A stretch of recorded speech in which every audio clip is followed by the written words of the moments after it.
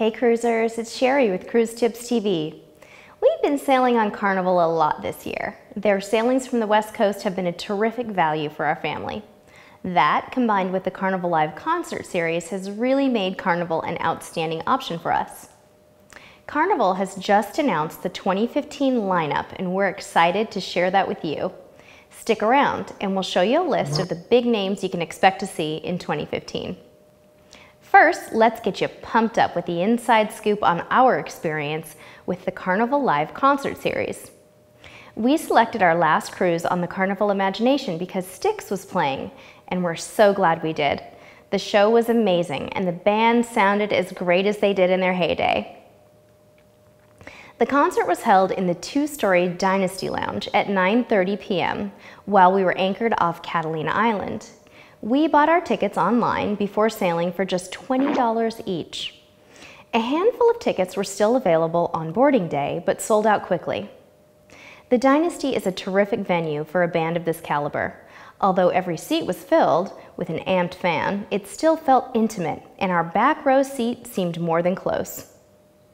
We arrived at the theater around 8.45, and seats were already at a premium, so we settled in on the second level of the theater.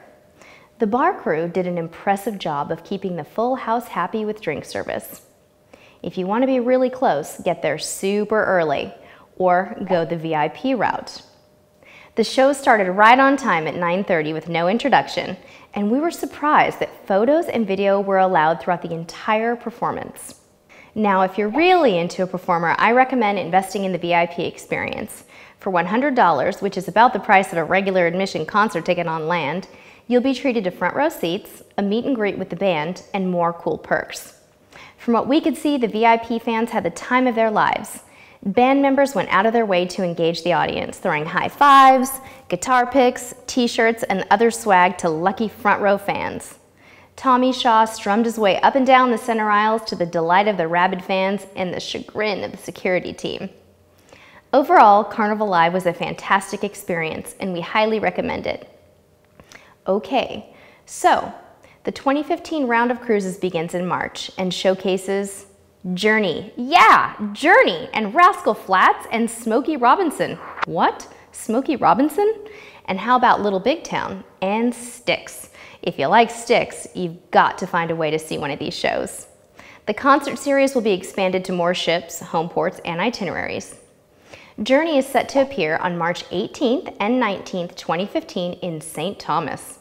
Styx will perform four times in June, beginning on the 16th during cruise stops in Nassau.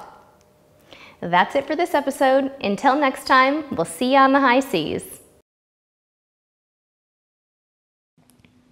Psst, don't forget to subscribe. Click me or use the links below.